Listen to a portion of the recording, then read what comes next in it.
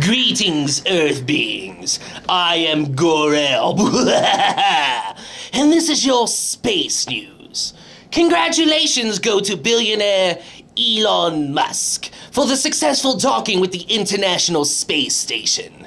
At 9.02 this morning, SpaceX's unmanned capsule named the Dragon was the first privately built vehicle ever to dock with the orbiting outpost. I, for one, have never seen the Dragon. But if it's anything like the rest of your ridiculous shuttles and satellites, I'm sure it looks something like this. The Dragon's next step is to take cargo up to NASA's space station and eventually astronauts. All I have to say about this is good luck, for I, Gorel, Space Dovahkiin, will be waiting for this dragon's arrival. And then, when the time is right.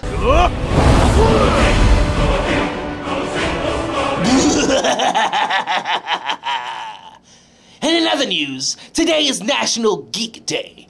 This being the day Star Wars Episode 4 arrived in theaters in 1974. So, in honor of this film, let me sign off by saying this Live long and prosper! Star Trek rules!